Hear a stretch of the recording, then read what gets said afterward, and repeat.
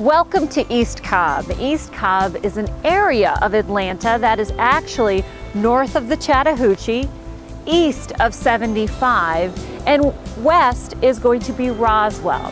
Now, East Cobb is very unique because it's a section of Cobb County. The city is Marietta, but in East Cobb, people looking for housing specifically come to this area because of the award-winning schools. For the past 20 years, Cobb County, specifically East Cobb, has had the most consistently fantastic school systems. You have Sope Creek, Mount Bethel, Walton, Pope, just to name a few.